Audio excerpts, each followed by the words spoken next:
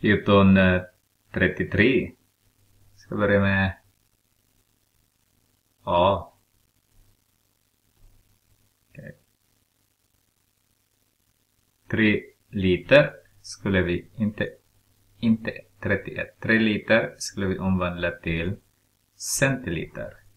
Så där. Så om vi har centiliter betyder 100 gånger mindre en liter. Och vi ska gå till höger, då multiplicerar vi. Därför det här är mindre. Då har vi 3 multiplicerat med 100, så har vi 300. Så i rutan skulle stå 300. B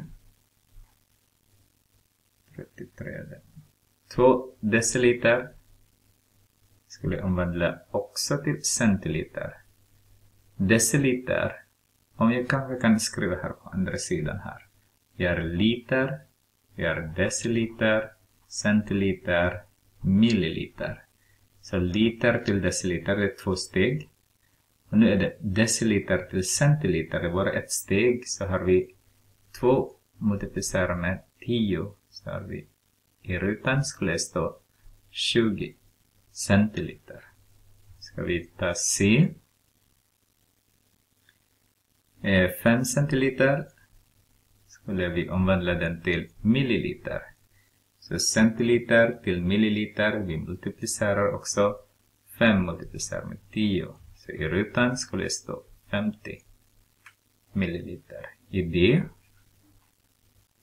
ser vi 7 deciliter till milliliter. Så 7 multiplicerar med deciliter till milliliter. Det är två steg. Det ska vara 100. Så har vi 700 milliliter. Så i rutan skulle det stå 700.